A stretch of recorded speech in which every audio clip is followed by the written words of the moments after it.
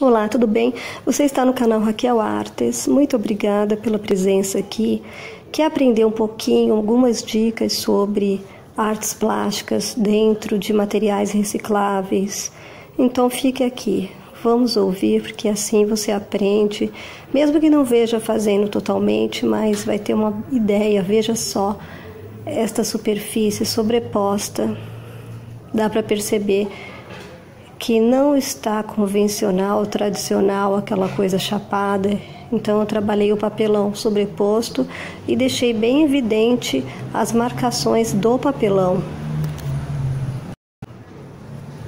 Dá para perceber aqui essa dobradura de papelão que eu deixei ela propositalmente na posição original.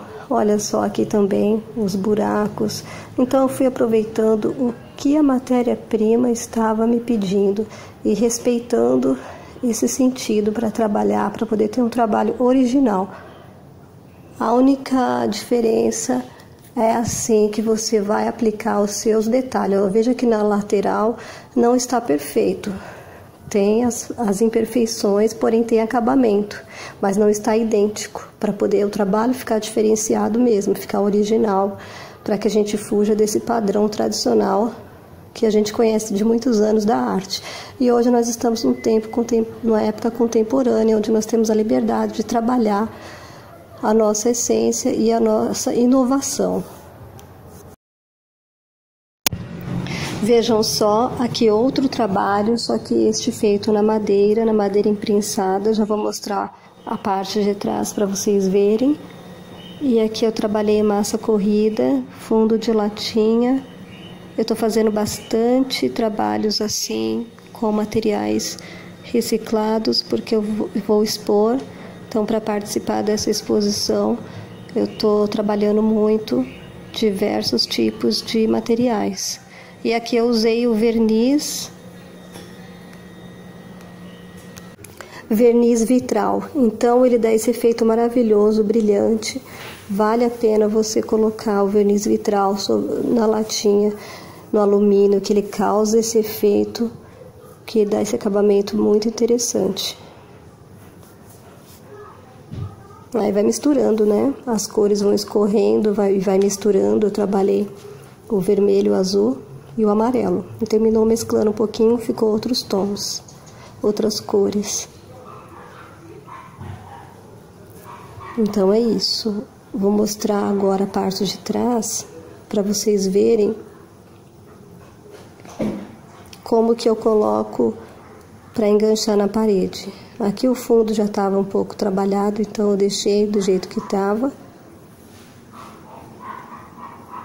Eu somente mede o centro e aí você coloca o lacre da latinha primeiro, depois uma arruela e depois o parafuso. Aí você vai com a chave Phillips, nesse caso esse parafuso de chave Phillips, você vai forçando, forçando, ele vai entrando, vai rosqueando e assim você deixa bem firme e não sai mais e segura muito bem qualquer peso.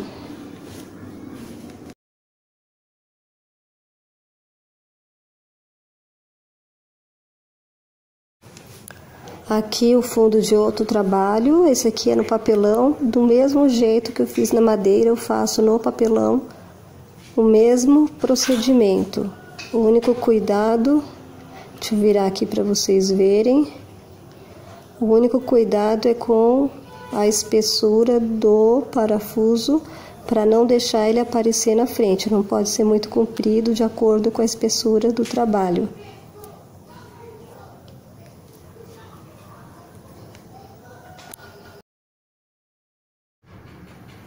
Então aqui ele também tem alguns quadrados de papelão que está sobreposto, que eu colei propositalmente.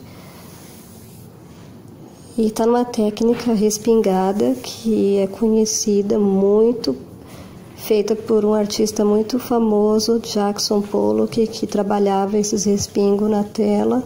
Então utilizei essa mesma técnica para poder fazer esse trabalho.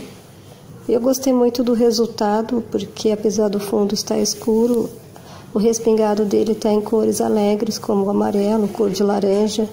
Então terminou dando uma, uma graça, um efeito bem legal. E eu gostei muito. Ainda vou procurar um lugarzinho para assinar o nome, não assinei os trabalhos abstratos que fiz, esses últimos que eu mostrei, mas discretamente eu vou colocar a assinatura aí que eu sempre ponho, acho fundamental assinar.